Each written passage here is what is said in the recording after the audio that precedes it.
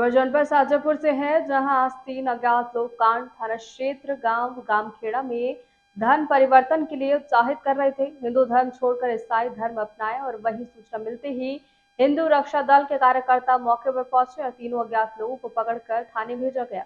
जहाँ कार्यकर्ता मौके पर पहुँचे और तीनों अज्ञात लोगों को पकड़कर थाने में सूचना दी गई। मौके पर पहुँचे थानाध्यक्ष व उनकी टीम ने तीनों को पकड़कर पूछताछ की तो बताया गया कि रामकृष्ण पाल पुत्र सुखा रमा देवी पत्नी रामकृष्ण पाल निवासी ग्राम चकोटी कला थाना समाजपुर जनपद हरदोई।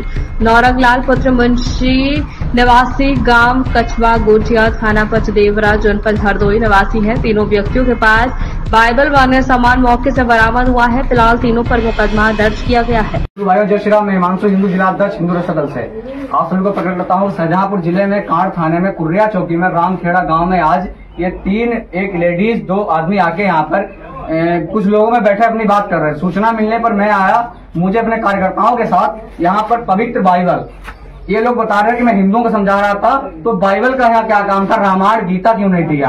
यही सब करके धर्म परिवर्तन हो रहा था यहाँ पे। ये ईशा मसीह के लोग हैं, इसकी जानकारी पड़ते हैं हमारे कार्यकर्ता मनीष प्रदेश उपाध्यक्ष जी। अन्य कार्यकर्ता हमारे आए तो आके इनको पकड़ा। तत्काल रूप से प्रशासन को सूचना दी है। मैं कड़ी से कड़ी कार्रवाई पे करवाऊँगा और ये पवित्र बाइबल और ईशा मसीह का प्रचार करते हुए यहाँ घूम रहे थे। ये लेके मैं हिमांशु हिंदू जिलाध्यक्ष, कहीं भी अगर आपका धर्म परिवर्तन हो रहा है तो तुरंत हमारे संगठन को सूचित करें।